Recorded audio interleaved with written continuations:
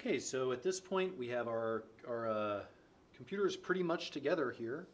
Um, If we can go ahead and uh, just um, quickly show kind of what we're going to finish up with here. We're going to make, basically, we're just going to make a couple of connections. Now, in a real computer, we'd have additional wired connections. We'd have connections coming from the front panel of the computer, uh, so you could actually use the power button to turn it on. We'd have connections coming from, say, like the CPU fan. We might have a power connection coming out of our our video card.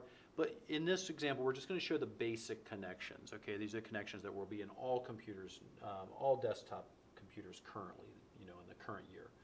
Um, okay, so basically what we're going to be doing is we're going to go ahead and we're going to attach the, the SATA, the SATA cables um, to the motherboard.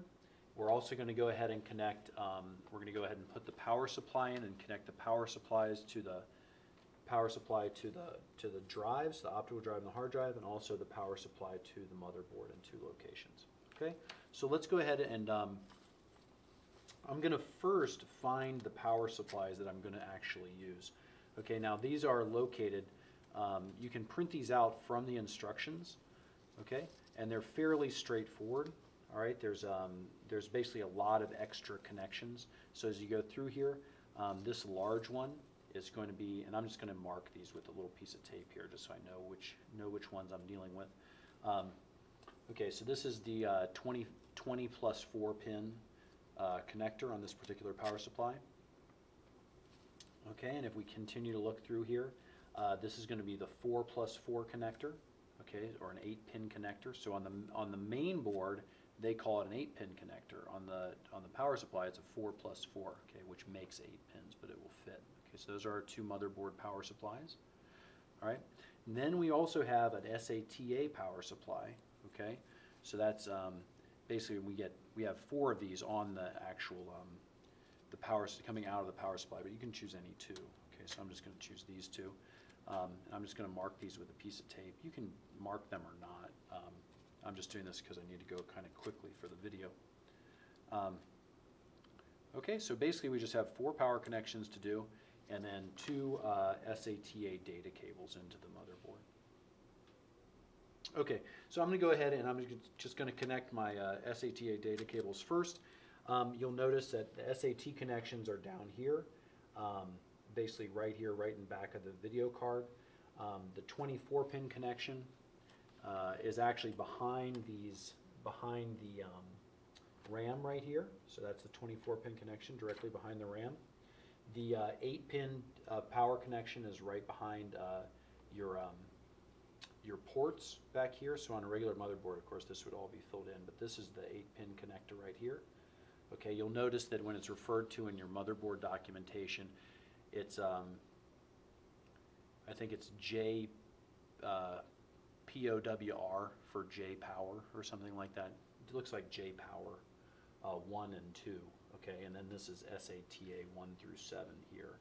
Um, okay, so we're just going to kind of represent these connections by connecting the cables to the right locations on the motherboard.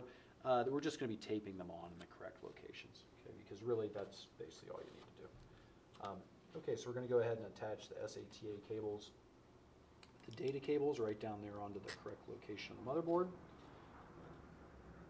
Okay, data cable 1 and data cable 2. And up to, it's entirely up to you which one goes where. So um, you just need to get them the correct spot on the motherboard. Okay, it's important to know. It's important to be able to read that documentation and kind of look at the pictures and know where things are going to get plugged in. Okay, that's part of the learning process that you're doing here. Okay, we're also going to go ahead and just connect this power supply.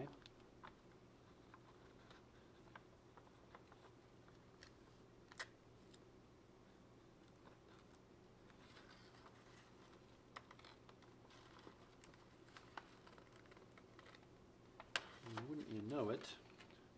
Oh, I did get it. I got it right side up.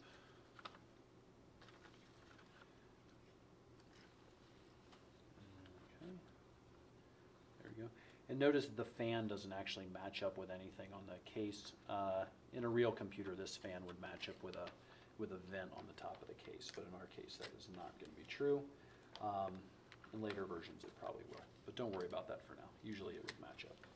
Um, And basically, that's where your power, you'll notice it on the power supply is the power switch on the back of the computer. So now I'm gonna locate, in general, you know, if I was building a real computer, I might or might not actually put these in right off the bat. I might actually just uh, connect everything first and then put the power supply in later. Because once you put these cords in, this is what really causes a lot of the, a lot of the, um, uh, it- this is, the cords are really what, uh, the power supply cords coming out into the case really create kind of a mess and a confusing situation. So basically though, on ours, we have our four cord, four that we need right here in a row. Uh, so I'm gonna go ahead and attach, um, kind of them in order, the bottom ones first. So the first one I'm gonna be connecting is the twenty-four pin, uh, power connector. Okay, so we're gonna take it down right down here, uh, right behind the RAM. We're just gonna connect it right there, just so we know that it's right. Uh, then we're gonna go ahead and take the eight pin power connector and connect that, uh, directly down here to the correct location. It's a bit of a stretch there. Uh, but you'll notice that in a real computer it is also a stretch, so.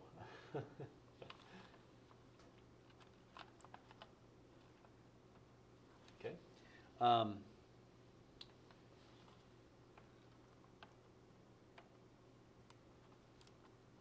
Okay, so that's connected. Uh, you might need a little bit of extra room, okay? Um, all right, let's go ahead and connect. Uh, and if you needed a little bit of extra space, you could actually flip this power connector over, or the, the power supply over, um, which would have been fine too. Um, so let's go ahead and uh, connect the SATA cables here. So that's going to go right on the back of the hard drive.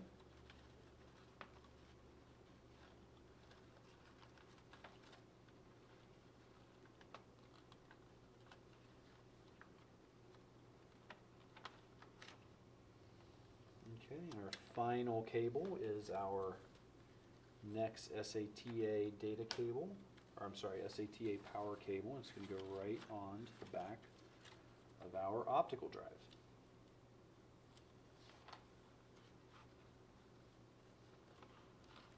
Okay, now just like in real life, we don't wanna leave all these cables flopping all over the place. Uh, we wanna make a nice, neat, kind of, a nice, neat, um, collection of them back here that we could use later if we needed to. Uh, so let's go ahead and we're just gonna use one piece of tape just to kind of collect these all together here. So we're not just flopping all over the place. Okay. And we just tuck those down into the case just like that. Okay, so there we have it. Uh, that is a completed, uh, all the connections are there, and we are done. Uh, with the cabling.